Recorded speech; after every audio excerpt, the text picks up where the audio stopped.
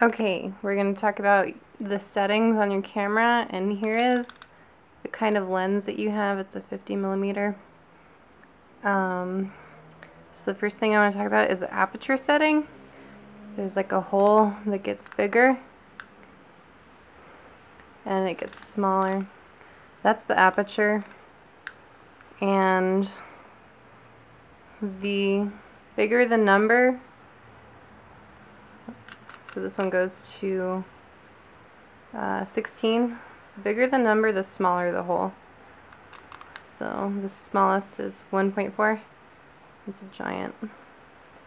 So um, the smaller the setting, the more light you're letting in. Uh, for daytime exposures, I would probably set it at 4 or 5.6. And then on here, it's got your distance. This is how you change the focus. It'll be the same for your lens too. So that's aperture setting.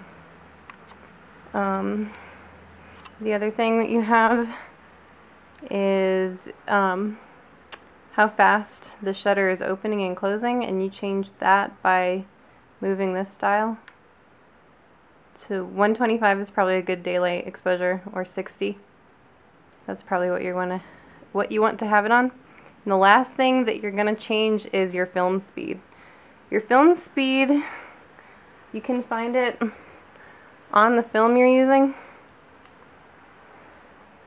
This is 400 speed.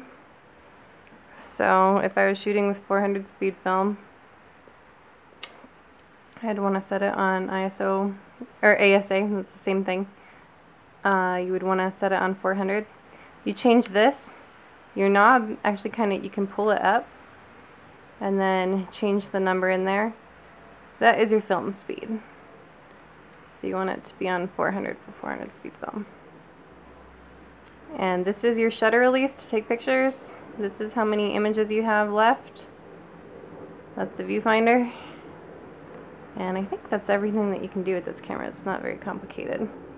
Um, so that is your Pentax. Hope you like it. Um, and then call me or text me if you have any questions about how to use it. And I will talk to you later. Bye.